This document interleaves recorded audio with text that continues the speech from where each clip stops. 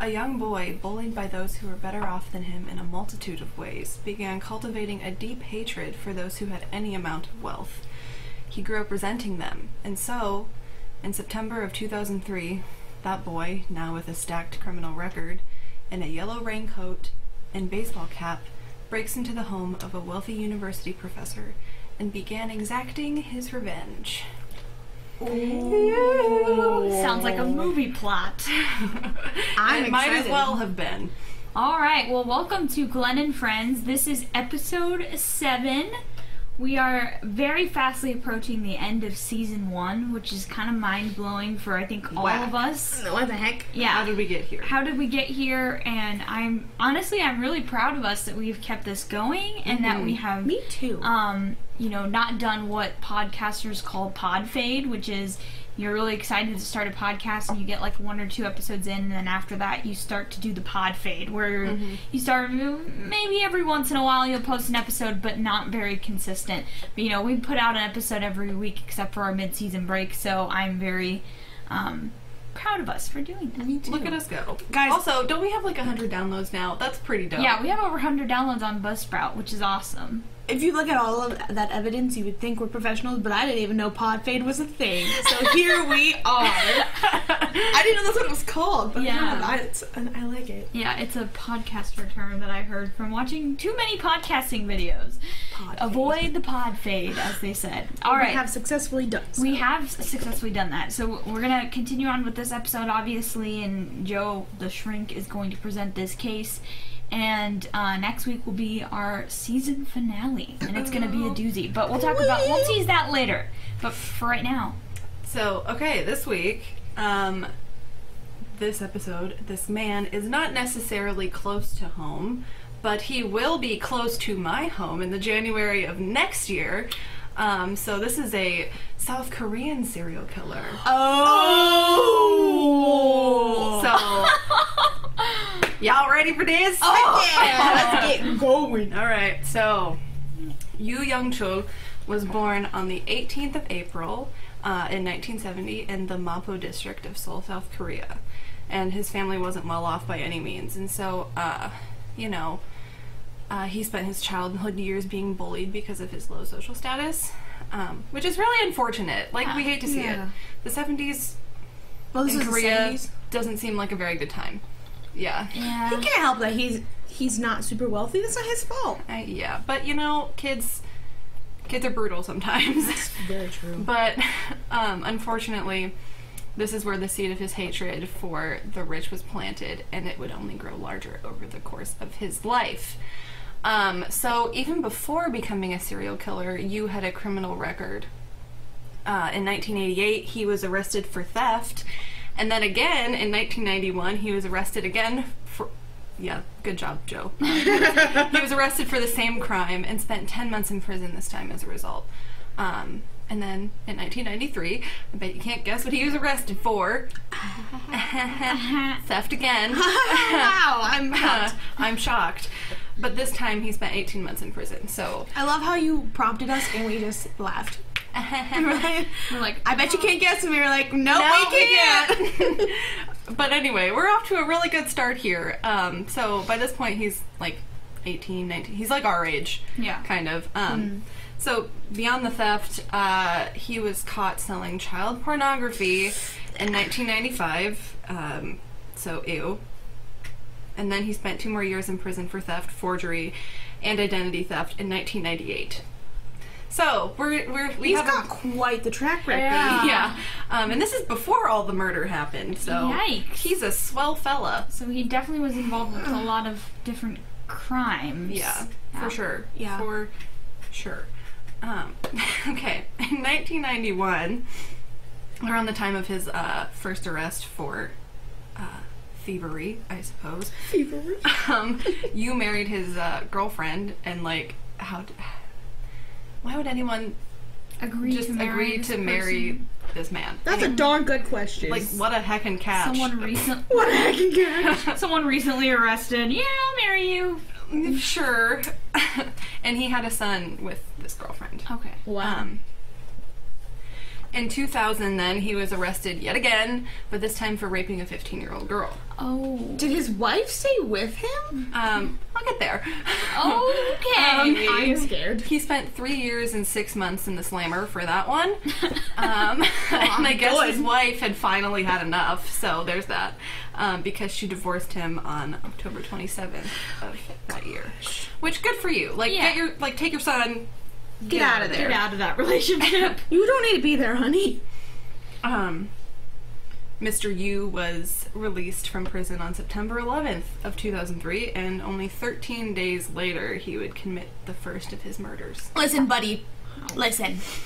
Take a break. Calm down. Gee whiz. Okay. Um, when Yu began killing on the 24th of September in 2003, he began his revenge on the wealthy. Uh, he broke into the home of a wealthy couple and stabbed the homeowner, a 72 year old university professor named Lee Dok-soo, in the neck uh, with a knife. Oh my, my gosh. Yeah. That's so in like It's that's aggressive. so malicious. And to finish off his first murders, uh, Yu bludgeoned the professor and his wife, Lee Yoon Ok, who was 67, um, to death with a hammer, and then staged the scene to look like a murder motivated by robbery, though nothing was actually ever stolen. oh my goodness. Wow. Uh, Yu struck again on October 9th of that same year, forcing his way into another house and smashing an innocent grandmother's head in with his hammer. Did she have? Did he know her? I don't think so. I'm just, it- just like a random old lady's house. Um, the wife of the homeowner he- uh, heard the commotion, um, ran down the stairs, and encountered her mother's killer.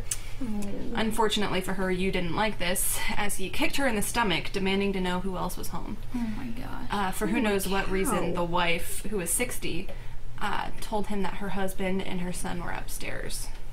Uh, Yu bludgeoned the wife's skull and then made a beeline up the stairs to discover that her husband, fortunately or unfortunately, wasn't home, but her son, in fact, was.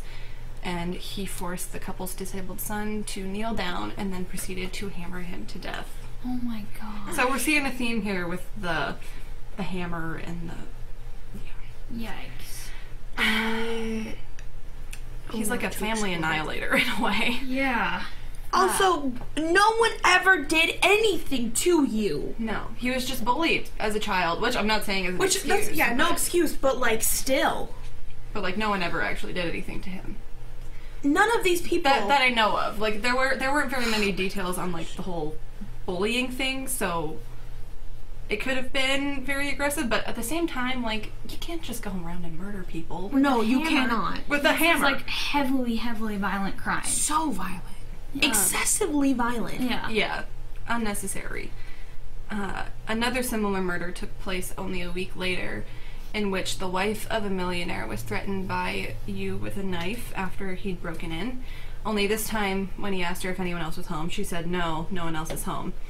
Uh, Yu dragged her to the bathroom where he beat her to death with the hammer and then left the home. Uh, later, Yu Jun Hee, the wife, was found by her son, who was actually uh, at home at the time of the murder. Uh, so that's unfortunate that he had to find her like that. Yeah. But I'm glad that she had the sense to say no, no one else is here right now. Right. And then finally, on November 18th, Yu forced his way into one final uh, home of the wealthy, where he would encounter a housekeeper who was holding the infant child of the homeowners. He showed his knife to her and demanded to know where the master bedroom was. When he found the room, he also found the father of the young child lying in bed. And, if you could believe it, Yu immediately hammered him to death. Um, What the heck? common theme. After finishing off the father, Yu returned to the housekeeper force- and uh, forcibly took the child from her. Uh, he then placed the child on the sofa and covered it with a blanket, and the gender was never specified, so I don't know. Anyway, after fatally bludgeoning the housekeeper, Yu discovered that he'd accidentally cut himself while he was trying to open uh, the family safe. So logically, I suppose he set fire to the house to destroy any possible DNA evidence. and no one's caught this man yet. Not yet. Thankfully, though, the baby was rescued. Okay, Good, I was okay, gonna good. say, I was the gonna baby die ask. in that fire? No, the baby Oh. was the baby was saved. Okay. No dead babies. Good. Good. Okay. Um, on December 11th of 2003, and we're towards like the end of his first year of aggressive crimes, uh, w- uh, Yu's taste in victims changed like drastically. Uh, he began dating an escort girl who would eventually, inevitably, I guess, discover his criminal record and then told him to not ever see her again. Which, like, reasonable, but because we know this absolute loser, we also know that this enraged him and motivated him to start killing again. Calm down, homie. We Thanks, know you're Kitty. upset too. The Mups are not fans of this guy. They're distressed. There's a mlep behind our TV. Cut it out. Homie, you're fine. Get down. um, so this guy went on another spree beginning on February 9th of 2004 in which he killed a street vendor and set his van on fire. Oh my god. um, and then he would go on to fatally choke a young woman, dismember her corpse, and dispose of her remains on a trail near Sogang University. Which sounds familiar Sir. to us, doesn't it? Um, and then next Oh. was oof, another street vendor for selling fake Viagra to him. I don't even know what to say. I know. right. He's actually bonkers. Um, finally, uh, in May of 2004, Yu lured an escort girl to his apartment where he would bludgeon her unconscious with his hammer and then decapitate her in his bathroom. Um, wow. he smashed her head in after the fact, mutilated her body, and then buried the rest. And here's kind of the kicker though. Uh, he went on and repeated the same method with at least eight more prostitutes and escorts. This At least eight. man is insane. This is a lot. It's a This is like Ted Bundy a lot. yeah, like- and like it's all within like the span. These these eight at least eight women were in the span of like a month Oh or my two. gosh, this is a month or two. escalation. Yeah, I Massive, wow. massive, massive, massive escalation. and then okay, finally, two days after committing his final murder. Uh, he was arrested after he'd raised suspicion by calling a massage parlor where several employees had recently gone missing after they'd received similar calls. Because I think you can like hire people to like come to your house, you know, give a massage, and that's Right. kind of how he would take. So he would hire Oh them. my okay, goodness. okay. Okay. Uh, yeah. He confessed to the killings, but then uh, he would escape custody after pretending to have a seizure. what? Uh, okay, how do you? How, how, th- will it? No idea how he managed that one, but uh, thankfully he was captured again 12 hours later. Good. um, okay. This guy, he's insane. We obviously know that already. Yeah. Um, his court proceedings, though, were kind of like there was no good way for me to like make a story out of it. So I just made like a little list of some of of some of the things this wackadoodle did um, when he was on trial. So here we go. I don't even. a whole list. Oh A my word. A Um, whole. It's a small. It's a small list, it- but this is like it's not a comprehensive one. This is just some of the ones that I found most interesting. I'm how did you get away with that? Okay. Um, he first appeared in court on September 6th of 2004, uh, where he apologized to the families of his victims, but also maintained that he had had no intentions of stopping if he hadn't been caught. Ooh, That's not an apology. That's great. It's not an apology at all. Uh, and then two weeks later, at another trial, he launched himself at three judges. What? Three of them, In the same room? se- like at separate. Trials? No, like at the trial, there's like a. pa- I think the way the Oh, court I system works is they're gotcha. like judges at a table, and I'm not sure how many. It's like a but- panel of judges Okay. rather But, like than he's just three one. separate judges Holy cow. trying to attack them, That's, and then which is great. it's, it's wonderful. He's a real class act. Yeah. No kidding. Uh, he was supposed to appear in court again on October 4th, uh, but then had attempted to kill himself the night before. Okay. Okay, which no. Um, anyway, he attacked a spectator three weeks later for cursing him, and after this incident, he then agreed to ca- to not cause any more commotion in the courtroom.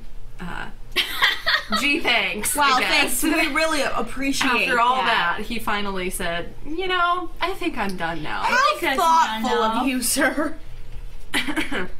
um, but then on December 17th, he was finally found guilty and was sentenced to death. Uh, he was convicted on 20 counts of murder and is currently, to my knowledge, still incarcerated at the Seoul Detention Center to this day. um, Good. Bye.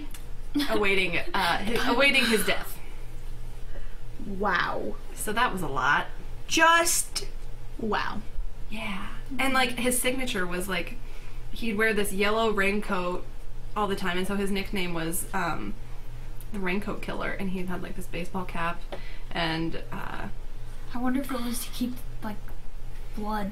it could have been because it would like wash off pretty easy. It would wash off pretty easy, and killing someone with a freaking hammer, there's gonna be Yeah. blood all over the place. It's not exactly a clean killing. And I'm It's surprised. so it's so like to kill someone with a hammer would take so much strength and Yeah. effort and just like you have to be so evil to just to be able to do that. exactly. Oh my god. That's and I'm. I'm just surprised that um like the first time that he got any of his DNA anywhere was that time when he attacked the housekeeper with the baby. Cuz it would seem I don't know cuz like it, like if any of these people put up a struggle, you would think there would be some sort, of You'd some think. sort of evidence. DNA left behind, like a hair or some like fingerprints of any sort, but I don't know. Skin under nails. Yeah. Yeah. Scratching. But yeah, you just don't know. That is a wild, wild case. That is And wild. So he killed potentially more than 20 people, but was counted for 20 murders. Right. He that's was- so Ted like that's like beyond just like he confessed to like killing more, um, but they could only ever prove the twenty that he was Gotcha. um, convicted of. Gotcha. So So he was quite prolific. yeah, wow. he there was okay. There's this movie. speaking of the plot of a movie, it was this movie that came out in 2008 called The Chaser, um, about this You mean dirty that detective. new show on ABC or whatever channel about Yes, that Jeopardy is totally that's totally it. Oh um, but it's about this dirty detective who was like turned into a pimp. Um, Ah, nice. and like he finds himself in financial trouble um, when several of his girls uh, recently disappear. Um, and so it's been like kind of connected that like the raincoat killer was the person who was abducting his his girls. So it was like loosely based around that. the raincoat killer, but Gotcha. didn't focus specifically on him. So I thought that was pretty interesting as well. How is this not more common? Like not common, popular. How is this not a more commonly known case here in the states even? Because that's intense. That's a lot. In That's like the span lot. of two years. Just two years. Like think about some of the serial killers in America. They went on for like tens uh, to 20, to 20 years worth of time Yeah. killing. This man went on a rampage. Mm-hmm. Like, I, I would be terrified if I lived in Seoul. My my thing is like I know how conservative Korea is like still like as far as like trying to keep like their reputation under wraps and like Yeah. and Korea is a very safe place to live. I'll Oh, say yeah. that much. Incredibly. But um I'm thinking ev like since it was such a long time ago like it was even more conservative than it is now so they tried to do everything they could to just be like okay we're gonna it. keep Yeah. this hush hush because while there were details about like his killings and like the names and ages of his victims like there's nothing really out there about this man specifically and like his mental health or like Mm-hmm. where he came from like what his home life was like i can't find anything on his parents so Nothing? Like close to nothing little to nothing I would be so curious to see what his life as a child was like, just Yeah. growing up. Not that that's Especially with an the bullying excuse. stuff. yeah the only thing i know about his childhood is that like he he wasn't well off Yeah. he was pretty poor um so that was like the cause for His hatred of his rich people, yeah well off people. But it's almost like it's just the fact that he was so angry. I think he was truly that's truly evil. But like the fact that he could kill an infant or would be willing to. like he tried to Like he tried to kill that child.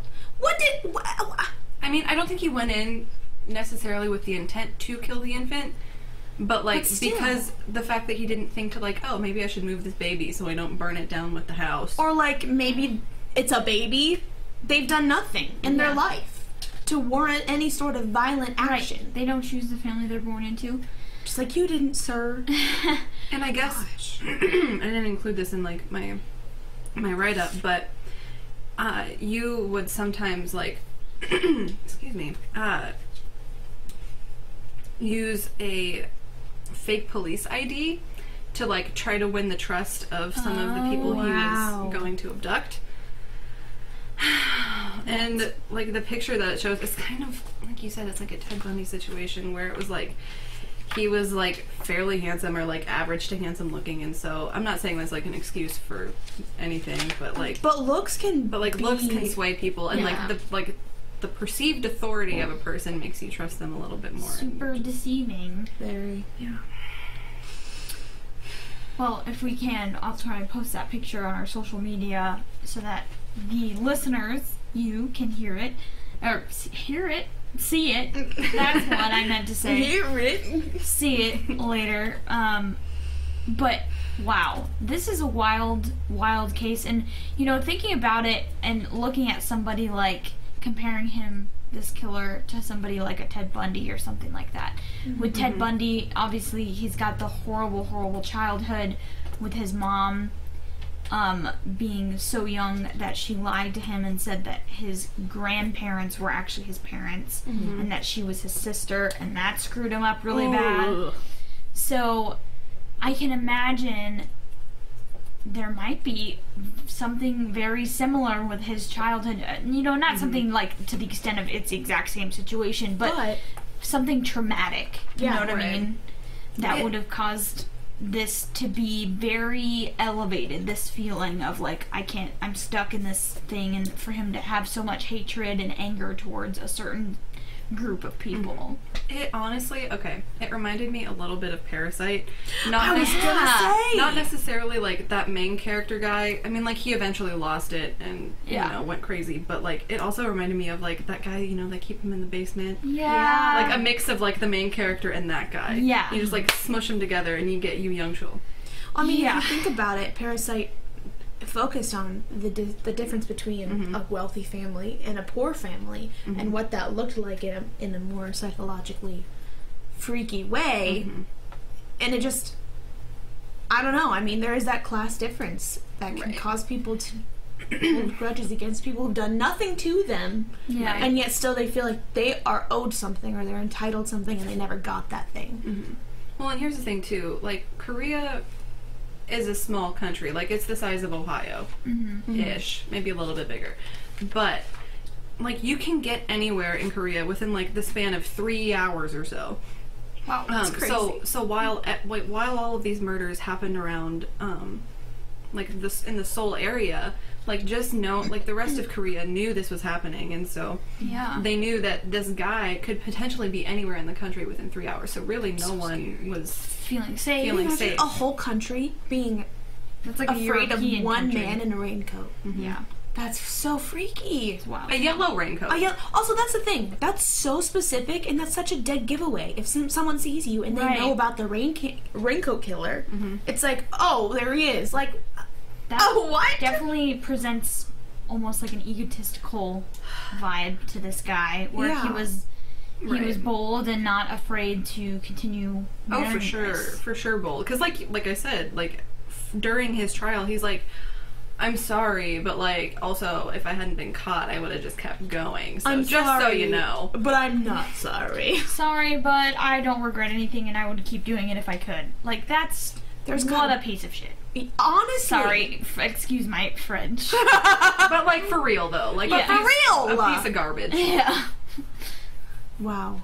I don't even know what He crazy though. he's. That's. It's just so evil. It's so malicious. yeah it's very it's very evil and it, it definitely like leaves like a bad feeling in the pit of my stomach where i'm just like how can someone be so motivated to kill in such a horrific way.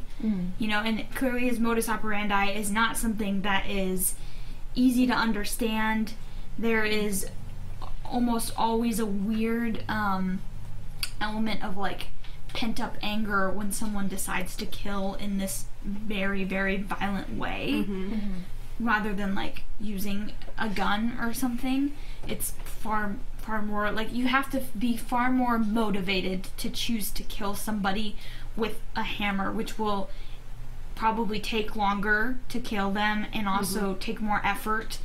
So yeah, it's Here's here's not fun thing, to think though. about. Like he was he was born in 1970 in in April. So we're coming up on his birthday here pretty soon. So this guy like he's by no means young, but he's also not like decrepitly old. Like he's almost Right. 51 years old. Yeah. And if he if like the death sentence has been hasn't been carried out yet, like he's still in there, very much so alive. Mm-hmm. And it makes me feel itchy. Yeah. No thanks. No, Oh, thank you. No thanks. Well, that is That's that. that's that case. I'm kind of reeling still. I really Yeah. want to look into this deeper and see if there's anything else we could find because this is so intense and it's I've never heard of this. it would be really interesting to see a documentary made on this. Mhm. Someone should like a original Night Stalker type vibe. For those of you who like to make documentaries, Yeah. make a documentary. Hint, hint, Take notes. hint, hint. If you're listening, you know, s similar to the style of um, uh, what's the recent one they did? The Night Stalker one on Netflix is really good, but also the one they did for the UK killer, um, the Ripper. oh in yeah. the 70s. That one was really good. So I could definitely see this being covered in a documentary quite well, and it would be very It'd be intriguing. so It'd be interesting. so good. Yeah. I would love to watch. I'd, love, to find out more about his childhood. Yeah, especially his family life, his Yeah. growing up life. Same. Because obviously he was able to woo someone and get married, and have an actual child. which is crazy. I would love to talk to his child. Oh my gosh, that, Yeah. poor, that That- poor kid. That kid might not want to talk about it. but- yeah, he might Um, not even remember a lot of his True. father. that's Yeah. true. All right. Well, thank you so much for listening to episode seven of our podcast. We will be back with episode eight, like I said, the season finale, and it is going to be a doozy one. We're going to be talking about a big case for once. So, one that you may have heard about before, and I'm excited to discuss it. We're pumped.